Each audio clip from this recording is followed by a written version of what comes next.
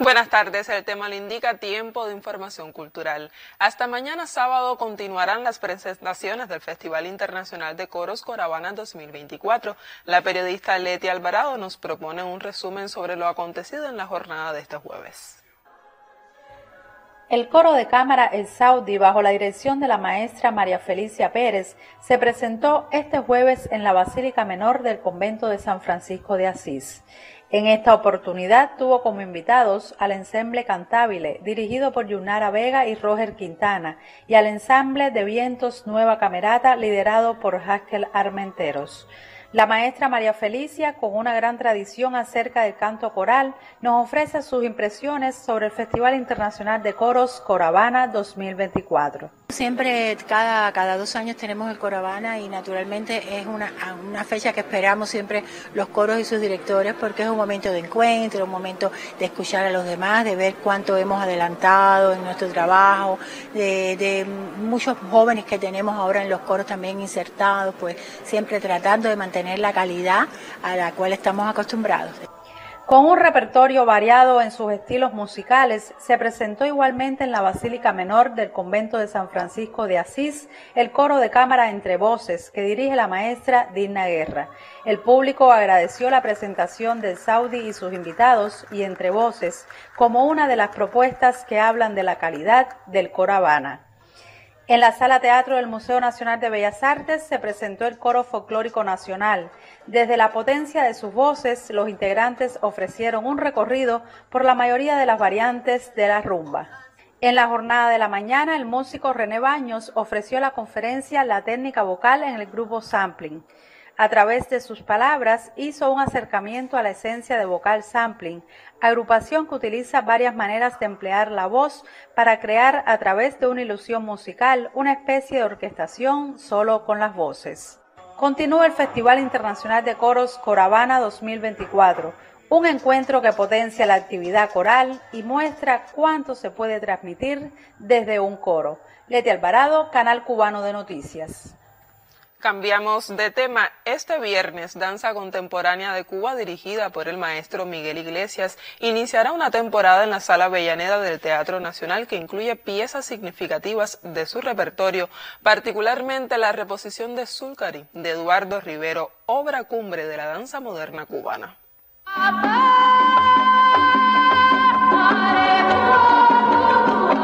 Es un clásico de la cultura cubana y lo es por sus extraordinarios valores estéticos y por la contundencia de su planteamiento. Hacía más de una década que Danza Contemporánea de Cuba no reponía Zulcari de Eduardo Rivero, que ahora regresa con la interpretación de jóvenes bailarines del elenco. Ese Zulcari es la bandera de la danza moderna cubana. Es algo que identifica a la modernidad como, como ninguna otra, independientemente de que Ocantomía ha sido la primera que él hizo.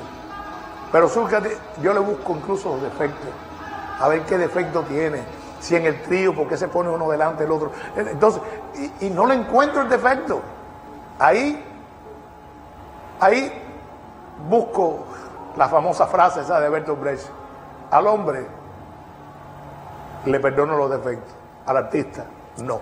Y este no tengo que perdonarle ningún defecto. Danza Contemporánea de Cuba apuesta en esta temporada por la confluencia de estilos. El programa se completa con El Cristal de Julio César Iglesias e Identidad a la menos uno de George Céspedes. La compañía celebrará en septiembre su aniversario 65 y esta temporada honra la capacidad integradora de la agrupación que fundó el maestro Ramiro Guerra. Luis Norido, Canal Cubano de Noticias. El más alto reconocimiento que otorga el Sindicato Nacional de Trabajadores de la Cultura le fue otorgado a entidades, agrupaciones y medios de comunicación en la provincia de Camagüey. Desde allí la colega Imia Margos nos tiene los detalles. Por sobresalir en el quehacer laboral y sindical, colectivos, agrupaciones, proyectos y medios de comunicación en Camagüey recibieron la condición de colectivo distinguido nacional. máximo reconocimiento que otorga el Sindicato Nacional de Trabajadores de la Cultura. La gran plaza cultural que es Camagüey hoy ha sido reconocida, por eso, como dije anteriormente, ha sido un día extraordinario para la organización sindical que estamos buscando fortalecernos cada día más porque estamos en conferencia del Sindicato Nacional. Y durante seis años consecutivos, el proyecto sociocultural Golpe a Golpe merece esta condición, por andar inspirado en la noble labor de elevar la calidad de vida de las comunidades bajo el calor de la perseverancia y la entrega. Golpe a Golpe, que es un macro proyecto que tiene su espectáculo, tiene la Brigada de Jóvenes Creadores, Cine en los Barrios, la Brigada Arte Joven, además de el Café Literario La Comarca con una programación de lunes a domingo, es decir, que abre las 24 horas del día con más de cuatro actividades diarias en su sede. Colectivo Distinguido Nacional se le confiere a quienes mantienen buen desempeño en la cultura, pero a su vez se destacan en el funcionamiento sindical. En Camagüey, Aime Amargos, Canal Cubano de Noticias.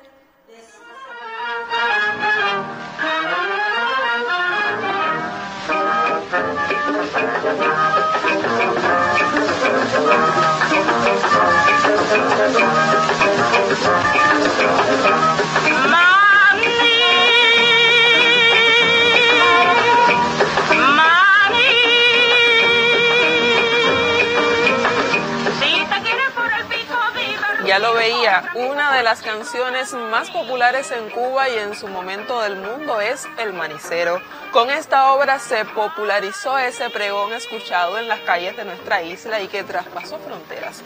Su autor, Moisés Simons, es uno de los más importantes compositores y directores de orquesta de principios del siglo XX.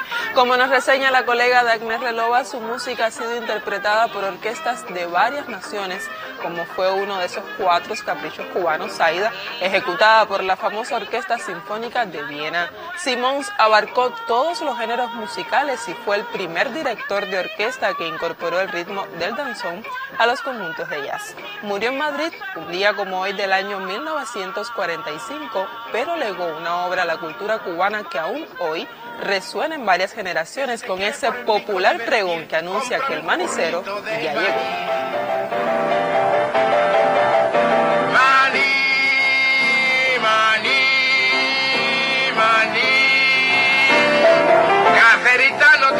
A dormir sin comer un cucurrucho de maní.